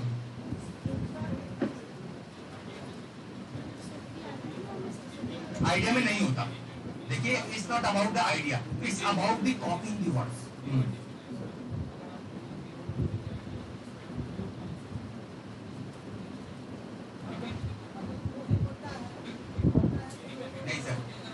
नहीं मैं कहा हमेशा हम ज़ोर देते हैं स्ट्रॉन्ग लिटरेचर आप किसी चीज़ रिसर्च करने जा रहे हैं तो आप ये नहीं कह सकते कि technically you can't say sir, मैंने ये, इसको नहीं पढ़ा।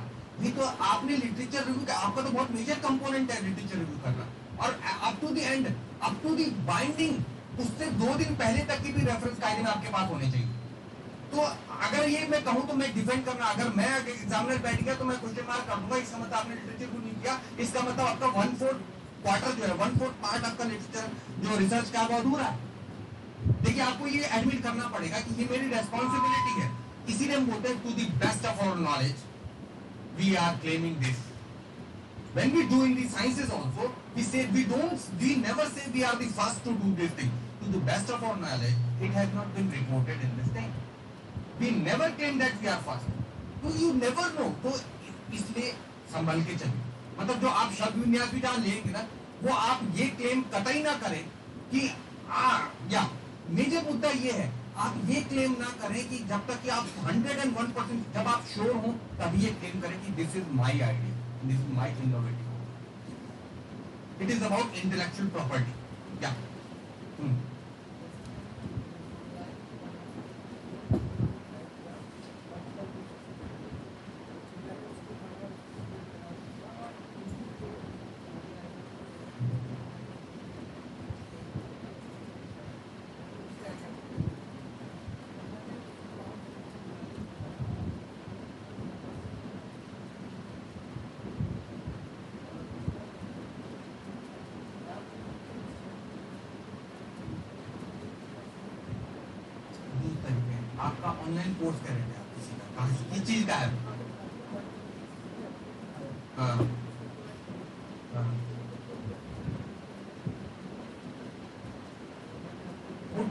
का जो आप जो कह रहे हैं, वो कहाँ कहाँ था कहाँ से उठाया आपने? वेबसाइट ऑनलाइन था।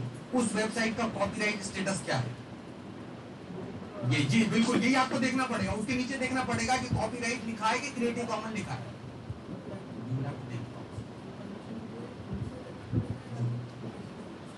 पब्लिशर से लेना पड़ेगा हम्म। पढ़ाने के लिए पढ़ाने के लिए थीसिस में नहीं ठीक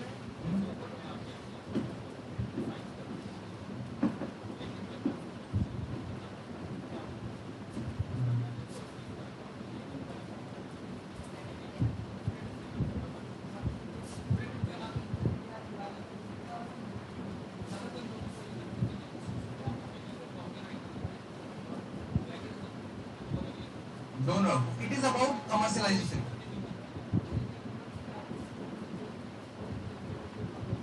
हाँ बिल्कुल हाँ बिल्कुल बिल्कुल और थीसिस भी ऐसे एक बार बताऊँ टेक्निकली अगर देखा जाए इट्स डिपेंड्स ऑन की कोई रिलैक्स करता है कि नहीं करता है। पर टेक्निकली वो थीसिस में भी नहीं होना चाहिए। मैं बता, आप उसको आप अपने शब्दों में कर लीजिए फिगर को रिफॉर्म कर लीजिए या उसको कर लीजिए हम्म हम्म हम्म हम्म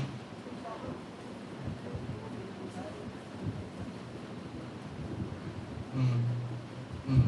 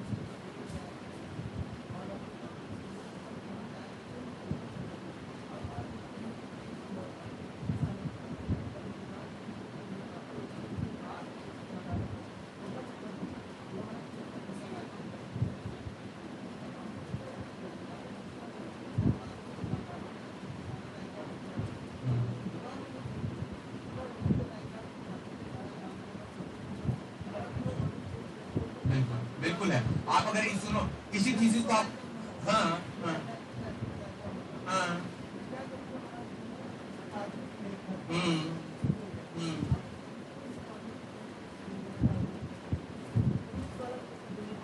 कहानी का कहानी क्या है, कहानी क्या है आप बिल्कुल सही करें मोस्ट ऑफ़ द केसेस में क्या है ना मोस्ट ऑफ़ द केसेस में क्या है, यहाँ तो हाल ये है आज की डेट में एकेडमी जब तक पकड़े नहीं गए तब तक आप ईमानदार हैं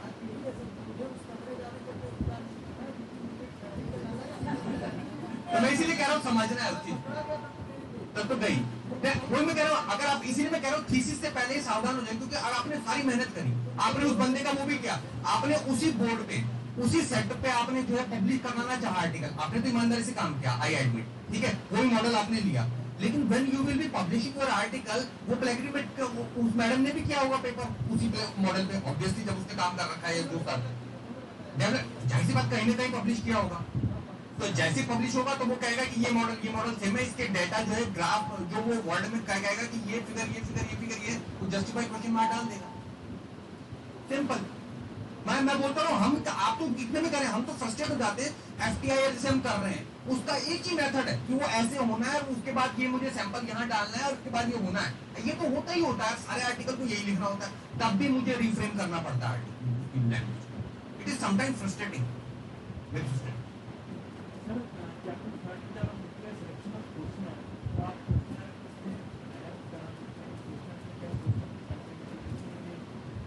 आपके नॉमिंग स्केल जो तो वो तो ऑलरेडी मेजमेंट पहले से। क्या लिखना ही पड़ेगा। उसको लिखने के बाद क्या उसका सोल्यूशन क्या होगा देखिए हम चेंज कर सकते हैं वेरिएबल देखिए साहब सीधी बात है क्वेश्चन है until unless, very standard they are until unless, जब तक आप बहुत स्टैंडर्ड स्केल आते हैं। एजुकेशन में और पेडागोजी में हेल्थ में कम्युनिटी आते हैं। वो स्टैंडर्ड है बिल्कुल। डब्ल्यू की स्टैंडर्ड क्वेश्चन बिल्कुल यू कोट इट ये डब्ल्यू स्टैंडर्ड का you are using it nothing but किसी बंदे का जो क्वेश्चन है, आप उसे ऐसा यूज़ कर रहे हैं तो तब वहाँ थोड़ा दिक्कत तो आएगी।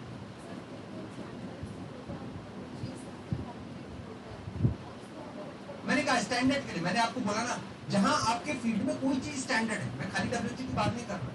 तो आप उसको कोड दे के काम कर सकते हैं। भाई मैं टूल कर एसपीएसएस को मैं यूज़ कर रहा हूँ। फॉर एग्जांपल कोई सॉफ्टवेयर है सिर्फ़ मैं उस तरह का तो एसपीएसएस तो चीज़ सही रहे वही रहेगी ना। मैं तो अपने डाटा पुटअप करूँगा अपना काम करूँगा निकल लूँगा। मेथडोलॉजी तो वो सेम रहेगी। उसमें कोई दिक्कत नहीं। दो चीज़ बता रहा हूँ सर। में ये चीज़ भी आई है। जबकि हमने इसको लिखा है। स्टैंडर्डाइज्ड है। आती है। दोनों का कोई सर डिपेंड करना पड़ेगा आपको। सॉफ्टवेयर को अकल नहीं है।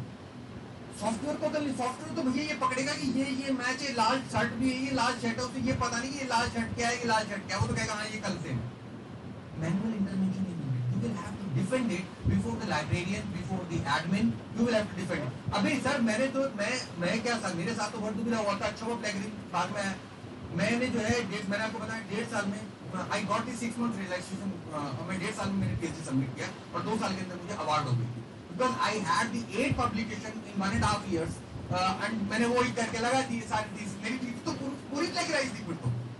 हंड्रेड परसेंट प्लेगराइज थी। मेरी अपने आर्टिकल पर सेल्फ प्लेगराइज पर वो प्लेगिंग नहीं हुआ। तो मेरा वही आर्टिकल वही तो काम किया मैंने पीएचडी में ठीक है? पर अगर वो केस आर्किटेक्ट में होता मुझे डिफेंड करने जाना पड़ता। ये ये पाया। ये मैंने ही कर रखा है? तो you will have to defend it वो वहाँ पर डिफेंड कायदे में डाला जाता है। मेरे ख्याल से जहाँ तक है वो डिफेंड करने का मौका मिलता भी है कि प्रॉपर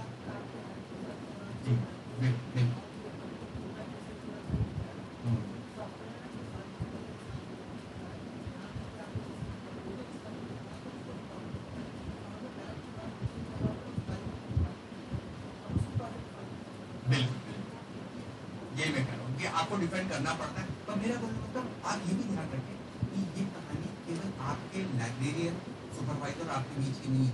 ये ओपन होता है ठीक है? तो जो भी चीज़ डिफेंड करे, वो स्ट्रॉन्ग डिफेंस होना चाहिए आपका। ताकि वो पब्लिक में भी स्ट्रॉन्ग डिफेंस हो सके।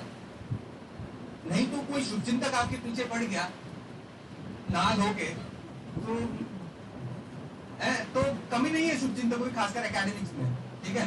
तो वो होते हैं लोग। तो तो वो तो कुछ भी करेगा।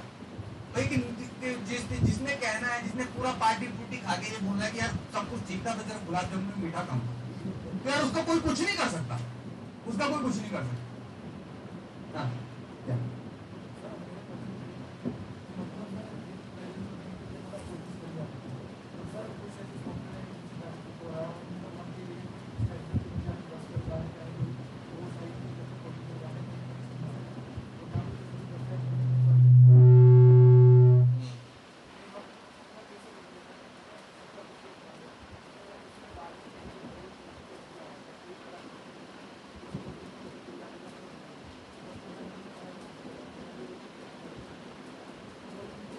मैं बता रहा हूँ आपको क्या आप मुझे अपना आर्टिकल दें मैं वही लिखूँगा। और दस परसेंट से कम में लिखूँगा कोई बड़ी बात नहीं है देखिए तरीके बहुत है तरीके बहुत है पर मैं आपको कह रहा हूँ ना जिस दिन शुभ दिन तक कोई पीछे पड़ गया तो आप कहीं बच नहीं पाओगे भैया अरे दस साल बाद भी पीछे पड़ेगा पंद्रह साल भी पीछे पड़ेगा तो आप खतरे में पड़ जाओ इसलिए डे वन से डोंट ट्राई कि वो शॉर्टकट ढूँढने की कोशिश मत कीजिए सॉलिड पाथ ढूंढिए जिससे आप लॉन्ग टाइम में सर्वाइव कर सके। वो जो दीपक पेंटल के साथ हुआ दीपक पेंटल का जो खास शुभ चिंतक हुआ करते थे वाइस चांसलर के जो कोबार्ड के दिल्ली यूनिवर्सिटी के वाइस चांसलर जेल गए थे। उसको पता था कि इसके रिसर्च स्कॉलर ने इसने यहाँ से ये ले रखा है। उसको जब मौका लगा, उसने पेश कर दिया। तो what I mean to say देखिए, तरीके तो बहुत है बचने के। बहुत तरीके बचे, पर हम क्यों जाए उन तरीकों में? गलत गलत गलत गलत। इस चीज़ को हमेशा ध्यान रखें। Don't try to learn the things वो गलत चीज़ों को सोचने की इच्छा भी ना रखें। कोशिश कीजिए हम सही क्या क्योंकि हम टीचर बनने जा रहे हैं। हमें सही चीज़ सिखानी है, गलत शॉर्टकट नहीं सिखाने हैं लोगों इसलिए खाली अपने छोटे स्वार्थ के लिए या इंस्टेंट स्वार्थ के लिए अगर हम शॉर्टकट ढूंढेंगे तो पता चला कि जब बच्चे को जो है स्कूल भेजना था आपने, या रिटायरमेंट से पहले पता चला जो है टर्मिनेशन हो रहा है सस्पेंशन हो रहा है तो इट वुड बी मैं बता रहा हूँ आपको, बहुत टिपिकल कंडीशन हो। जी।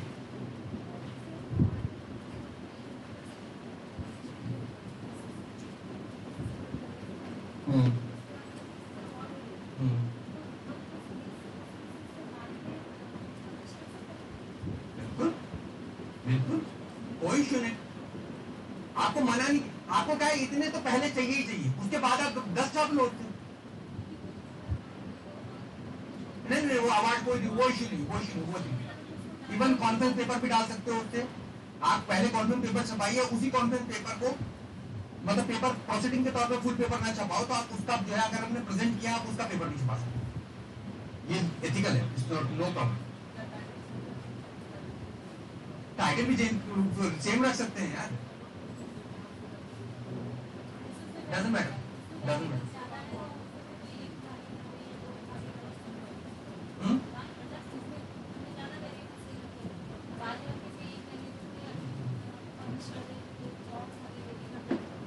कर सकते हैं कोई इशू नहीं घबराने को बात डजंट मैटर डजंट मैटर बोले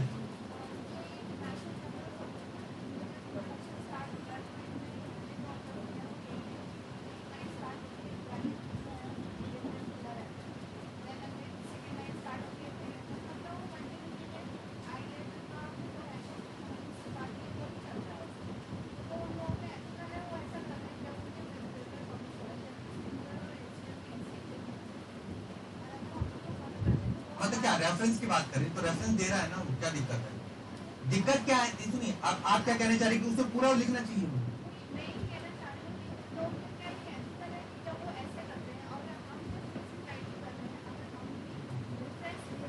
ना ना तो मैडम एक बात बताओ रेफरेंस देना गुनाह कौन है।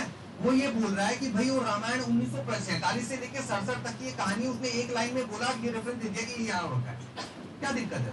आप भी ऐसे कि आप देखिए मैडम बताएँगे आपको इंट्रोडक्शन कैसे करना है? जब इंट्रोडक्शन हम लिखते हैं ना तो सारी बातें तो हम नहीं लिख सकते हिस्टोरिकल बैकग्राउंड उस कंप्लीट उस सब्जेक्ट का। तो हम उसे समअप करते हैं और रेफरेंस देते हैं। रेफरेंसिंग तो बचने का रादर एक तरीका है। पूरा बचने का नहीं, एक माध्यम है, एक एक पैर आगे आप रखते हैं तो इट्स नॉट नॉट इसको प्रॉब्लम नहीं कहना चाहिए हमको। Rather it's a very good practice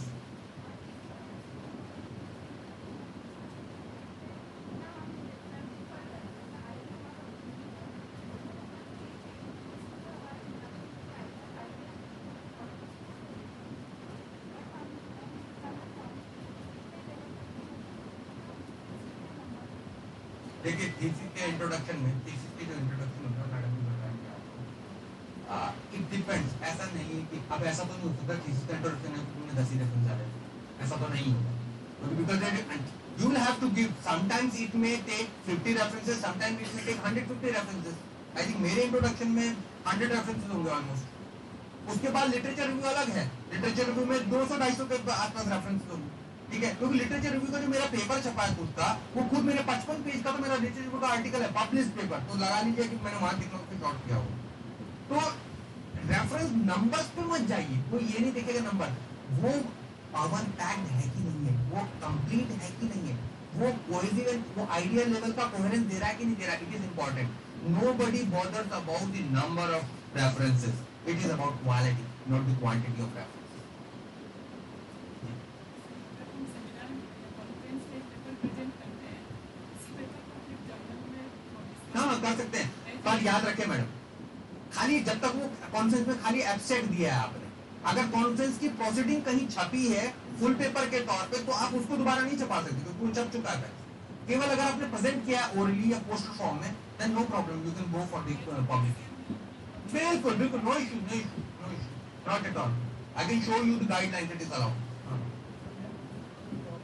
ji sir very good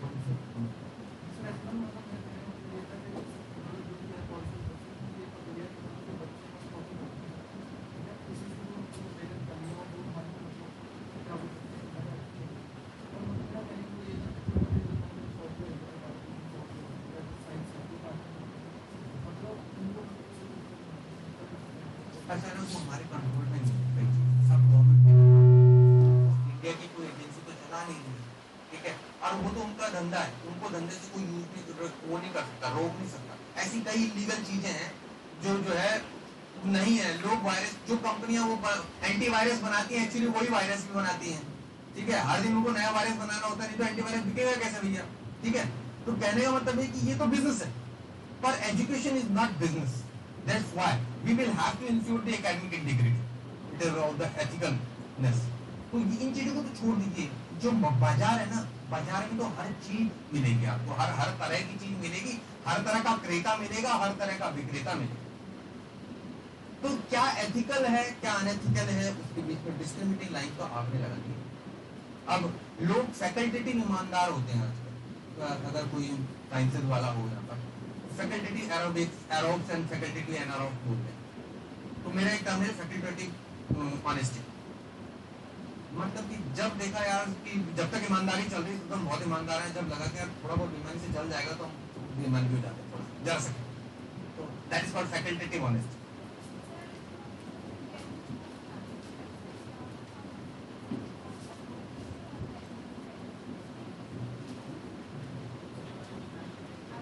madam बताएँगे आपको।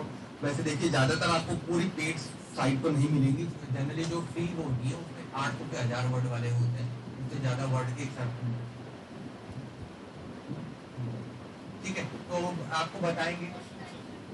आप कोर्स में रजिस्टर कीजिए ख्याल से हाँ बोले प्लीज़ सर आप कुछ कह रहे थे।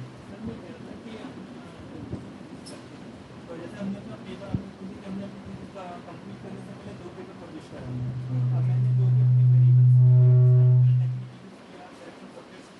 वो चीज़ हमने एक वेरिएबल पे एक पेपर को बना के पब्लिश करा जी अब जब मेरी थीसिस पूरी कंप्लीट हो जाती है तो मेरे दो तीन चार वेरिएबल जो भी थे तो जब हम उसको करते हैं तो हमारे थीसिस कैरिज्म मार्केट होता है कि आपके इस वेरिएबल पर आपने ये अ, जो है स्टैटिकल टेक्निक आपके सब्जेक्ट लिए थे तो वो सारी चीज़ों को फ्लैग करके दिखाता है भले वो हमें दिखा रहा है कि ये मेरे पेपर पब्लिश होता है जर्नल में।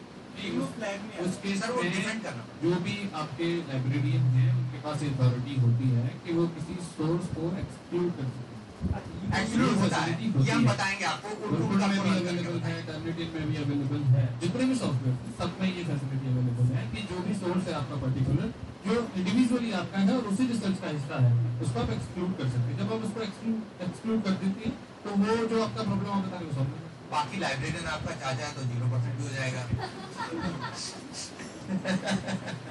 वो अलग बात है कि उसकी नौकरी धार पे लग जाएगी कभी भी, और आपकी भी, आपकी पीएचडी हाँ जी, बोले।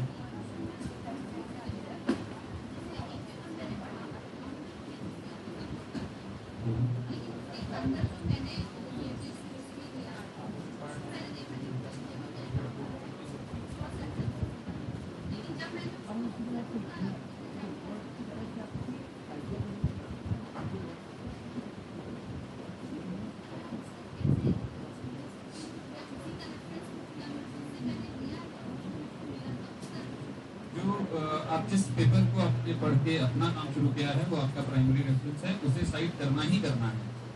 सेकेंडरी रेफरेंस अगर आपने पढ़ा है आपको समझ आया है तभी उसे यूज़ करेंगे। अगर वो जर्मन लैंग्वेज में है आप उसे नहीं समझ पा रहे हैं तो वो आप नहीं उसने किया है वो ठीक है वो ठीक है कोई प्रॉब्लम नहीं। लेकिन आपकी समझ में वो नहीं आया। तो उसमें ऐसा भी कुछ हो सकता था जो जिससे आप शायद एग्री नहीं होते। है ना? हो सकता है कि आप उस हिसाब से काम नहीं करते जैसा अभी आपने किया। प्राइमरी रेफरेंसिंग होना ज़रूरी है।